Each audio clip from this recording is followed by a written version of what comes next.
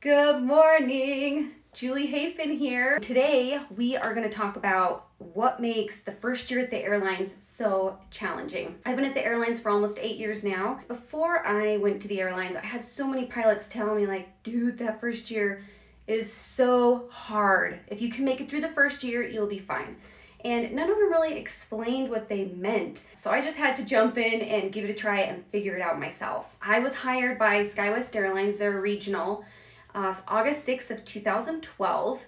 And training took, it was like two and a half months. I was done with all my training in the middle of October.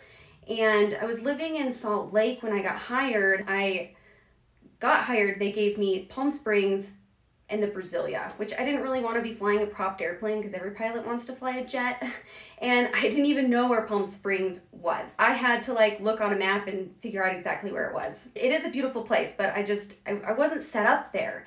So that was challenge number one because you get done with training and I think I had four days off before my first trip which was almost no time. I mean, in training, I was so busy, I didn't have time to think of what I was going to do. And then I got done with training, and it was okay, here's your first trip out of Palm Springs, good luck. Yeah, I hadn't found a place to live, I wasn't making enough money to like stay in a hotel while I was there because I was on call or on reserve. I had my grandparents, they lived two hours away. I just asked them if I could stay with them while I was on call. Obviously they were fine with it, but the hard thing was at SkyWest Airlines, it was a two hour call out. So once they called you, you had two hours to get to the airport and check in for your trip. I was on call, but they hadn't called me for days and days and days and days. And of course, the first time they called me, I just, I don't know, I didn't hear my phone ring. And I didn't notice the phone call for probably 30, 45 minutes. So I was already on that two hour threshold. And now it was, you know, I was gonna be not there until two hours and 45 minutes. I called him back and I was like, I'll be there. I'm gonna drive as fast as I can that's like challenge number one is just figuring out what you're gonna do and just being on call. Like i've never been on call before that so it takes time to like figure it out. October i lived with my grandparents. After a couple weeks i realized it wasn't gonna work because i would basically have to be completely ready to go the minute i got the phone call. And usually i was on call at 4 a.m honestly who wants to get up at 3 a.m to shower and get ready in case you get called? Not me. For november i found a couple other guys who had gone through training about the same time as me who were also based in Palm Springs but weren't living there. And we decided to get our own crash pad. A lot of bases, especially the larger bases, have crash pads already set up. It's just a house or an apartment, basically somewhere for you to crash. They have them for flight attendants, they have them for pilots, just because it's a lot cheaper to do that than it's going to be paying for a hotel for a whole month um, or months and months, depending on how long you're commuting. So, me and these two other guys got a crash pad together, and there was no furniture. I'm not lying when I tell you the only seat in the whole house was the freaking toilet in the bathroom. I did get an ironing board. I would set up my laptop and watch movies and get on SkyWest website, propping my laptop laptop on an iron board.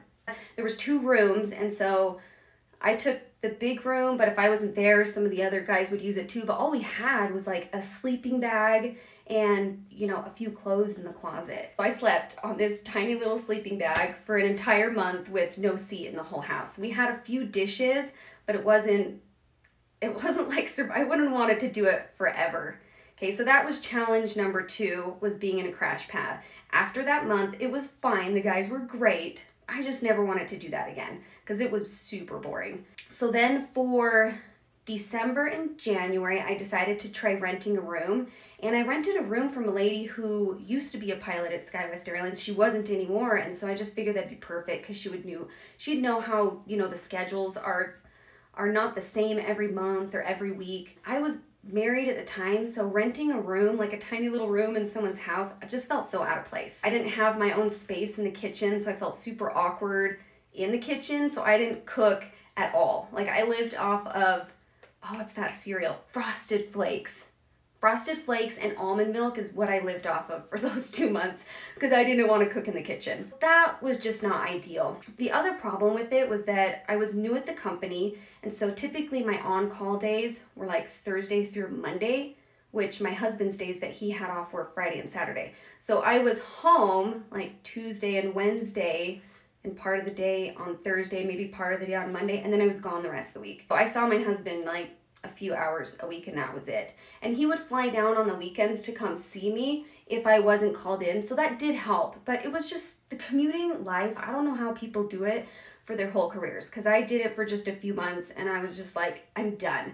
It's so stressful trying to catch the flights and then trying to get back home afterwards is also so stressful. It's just was not fun. So learning the commuting is another thing that makes that first year so challenging. It was probably halfway through January, me and my husband decided like this just isn't working. And I just told him like I just I cannot do this anymore. So either we need to move down to Palm Springs because I just I couldn't get Salt Lake as a base. It was too senior. So I was gonna be stuck in Palm Springs for a while. So I told him like we either need to move to Palm Springs or I just I have to quit. I can't do this. It's too hard and it's not what I thought it was going to be. And thank you to my husband that he was so amazing and so supportive because he said, no, let's just move.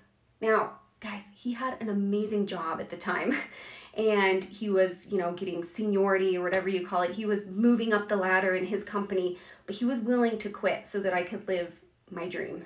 So he's amazing. Anyway, plug for him. We started renting the apartment February 1st because I did not want to rent that room from um, that lady anymore. Moved in February 1st. All that we had now in this tiny little, I think it was 900 square feet, one bedroom apartment. Like the bathroom was connected to the bedroom. So all I had in there was an air mattress and then I had a little table and a chair that I bought so that I could study. And I lived in that apartment for a month by myself.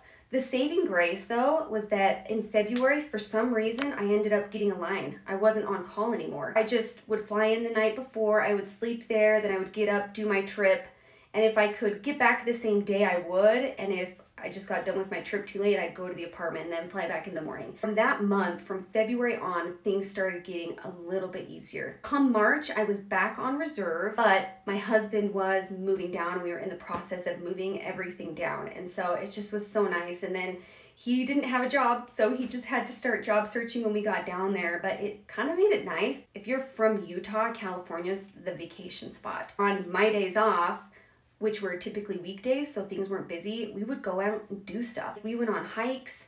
We took our bikes out to the coast and just biked all up and down one day. We went and saw the aquarium. I think we did everything except we never went to Disneyland just because we just decided we'll just wait till we have kids that are old enough to enjoy it to go. Ended up being really, really great. One thing I did forget to mention was this the entire first year that I was at the airlines, I worked every single holiday. I'm not just talking like Christmas, Thanksgiving, Halloween. I'm even meaning like those Monday holidays that only banks get off. Like I worked those holidays, Valentine's Day. I couldn't get like my anniversary or birthday off. I basically had almost no control of my schedule, which was really hard for me because I'm a planner. That first Thanksgiving I had to work, this is kind of an embarrassing story, but we had gotten up super early for our trip, probably 3 or 4 a.m. We flew out to Bakersfield and I was so exhausted. I walked into the hotel room and I remember turning on the TV because it had the New York Thanksgiving Day parade on. I just fell asleep, like in my uniform, face down on my bed. and I woke up three hours later and went to like go around the, the room to use the restroom. My door was open that whole time. so I will never forget that Thanksgiving. For Christmas, I did have to work Christmas that year, but I had, it was three or four days leading up to and including the Christmas day, I had to work all of those. And so Christmas Eve, my husband flew down because he didn't have work that day, and I got to take him flying on a flight with me. So that was cool. And then we had the evening for Christmas Eve together. Christmas Day, I flew, but it was just from Vegas to Palm Springs, and then I was done. I did still make it home on Christmas Day, but honestly, I was so big on the big family celebrations that it was kind of hard not to be there with my family on Christmas Day. And my husband did his best to like cheer me up about it, which he did a great job. But still, it was really hard, like working every single holiday for that first year. It was around June or July when things started finally moving at the company. They started hiring a little bit more, and so people were able to start moving bases, switching airplanes, going from first officer to captain. It was around June or July that I finally got a line, which just means it was a set schedule. You know, I bid for the trips that I wanted, and then they were all in my schedule for the whole month beautifully laid out so that I could actually plan and have a life again. That was super nice. I was still really junior, so the first couple of months that I had a line, I was working every weekend, every Sunday, and still every holiday if there were any left. So things were slowly getting better.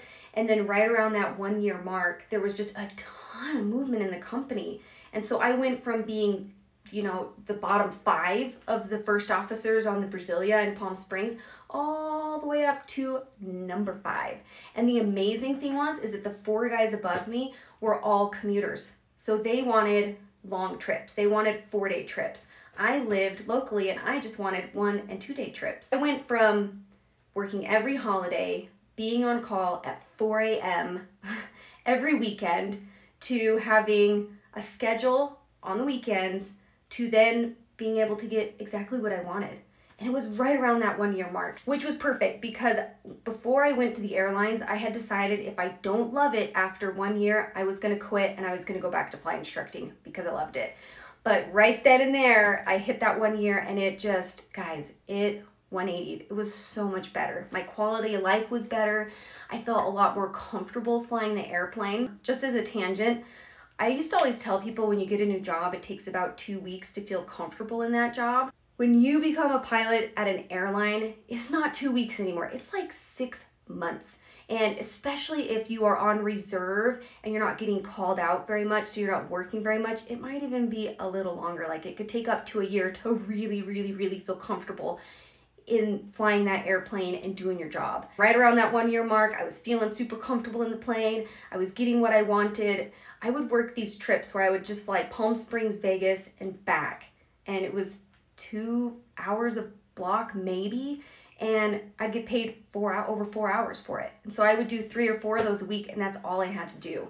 Or they had these amazing trips where I would just do one leg out to Santa, well, it'd be from Palm Springs to LA, LA to Santa Barbara, done at 10 a.m., have the whole day in Santa Barbara. And then the next day, we'd just do the same thing back, LA and then Palm Springs and be done. It was so much better. If you do decide you want to be an airline pilot, you've just got to make it through that first year. I promise you it will get better. You'll get better at bidding. You'll get better at flying the airplane. You'll feel more comfortable and confident and you'll build seniority so you'll start having a better schedule. If there's a question that you have about that first year at the airlines and I forgot to cover it, then just send me a DM, make a comment in this post later on, or you can even email me at trendypilots at gmail.com. I do check that email every day and I will give you a response. so good having you guys today. I'll chat with you later.